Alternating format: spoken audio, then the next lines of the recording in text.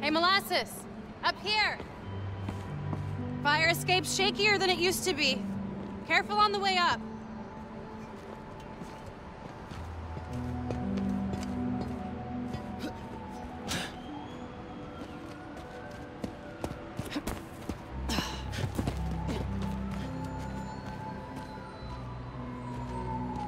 So, this is why you wanted to meet here. Almost bailed you took so long.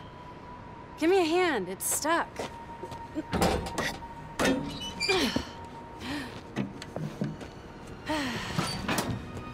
Time capsule seen better days.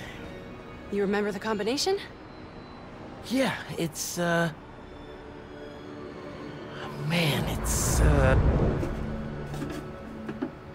You kidding me? Y'all gotta start remembering this code. Not always gonna be around to tell you. Well, remember, well, remember. Well, remember. Yeah, yeah. Good. Now, uh, what are you gonna put inside this bad boy? Secret time capsule. Only Miles and I know. Boom! That's right. Keep it secret, keep it safe. Hey, Rick. You gonna take that job at Roxxon or what? Why? You gonna take it if I don't? Maybe. Waiting to see the offer. Okay, competition, eh? Well, they're talking a good game. Want me to, uh, lead their clean energy group. You know me. Clean, Clean power, power, save, the, world. I love my nerdy fan club. Oh, speak of the devil. Roxxon. Back in a sec. You remember the code, right? Um... The Fibonacci sequence. Nice. A award. I mean, our energy converter was pretty fire. Truth. You think it's still on display at the Science Center? Hope so. Wow. Look at this. Goober Central. Rick looking suave as ever, though. Yeah.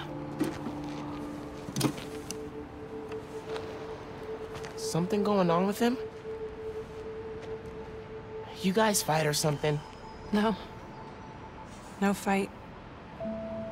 Finn, It's fine. why do we really lose touch?